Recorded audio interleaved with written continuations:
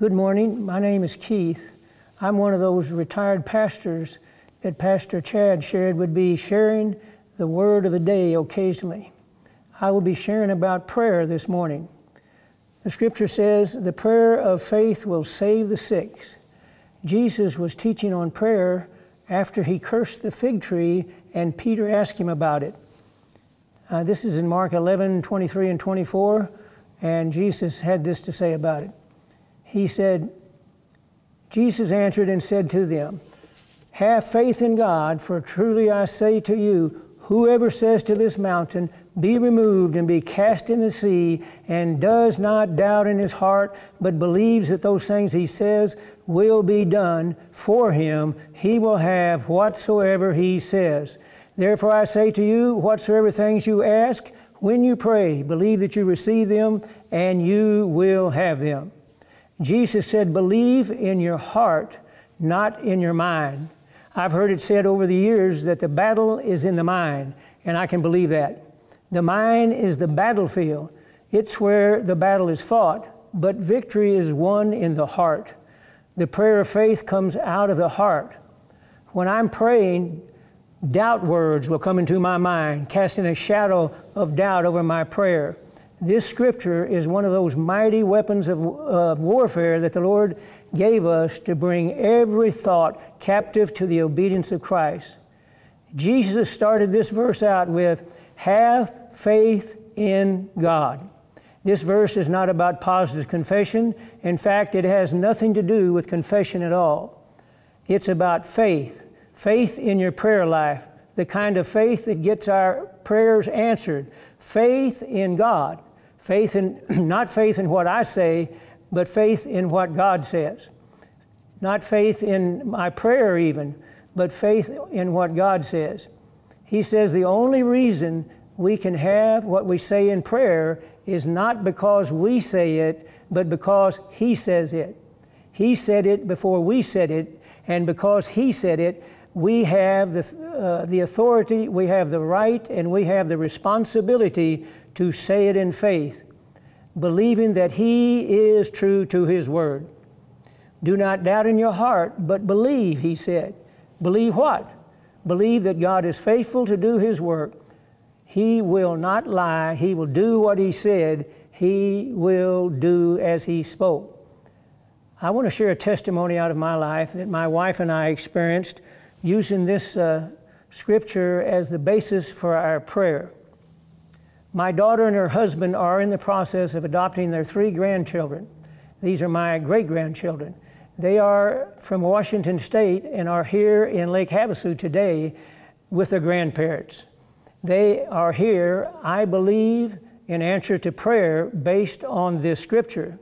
My wife Donna and I were in the audience praying during the court hearings to decide the custody of the children. The hearing was in Washington State. My daughter Sharon was there in Lake, here in Lake Havasu on her cell phone, taking part in the proceeds, proceeding. uh, during that process, the uh, Washington Child Protective Services, the lawyer, and the caseworker for the three children were all, excuse me, were all petitioning and encouraging the judge to keep the children in Washington and allow the foster parents to adopt them.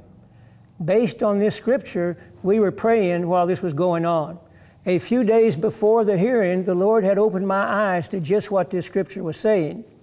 Whosoever, whosoever includes all of us, whosoever does not doubt in his heart, but believes in his heart that those things he says will be done for him, he will have whatsoever he says. Therefore, I say to you, whatsoever things you ask when you pray, believe that you receive it, and do not doubt in your heart.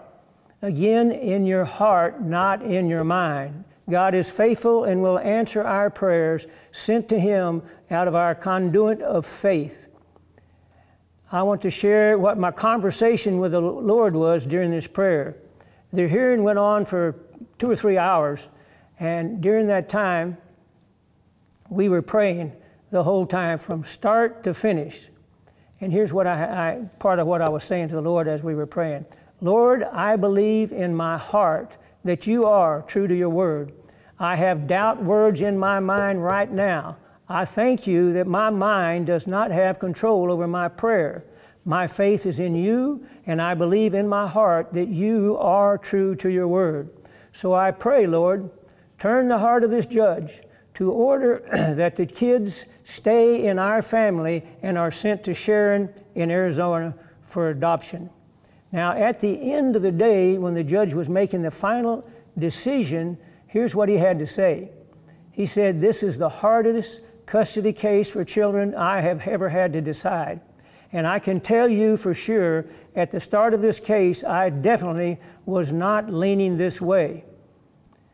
But after hearing all the evidence, I believe that these children need to stay together as a family, and I am making the decision and so order that they be sent to Arizona to be adopted by their grandparents.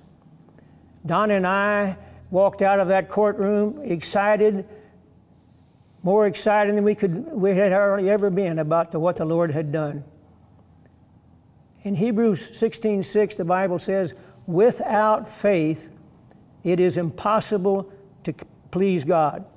And I'll tell you what, I am fully convinced that God is very pleased. In fact, He loves for us to have faith in Him and exercise that faith in our prayer life, trust in Him for the results. Hopefully, this has been blessed you as much as it did my wife and I. And I hope it helps you in your prayer life. I hope it builds up your, your faith that, that God will answer your prayers. Thank you for allowing us to share this morning the word of day, the word of the day with you. I pray the Lord will bless you and prosper you in all of your activities this day.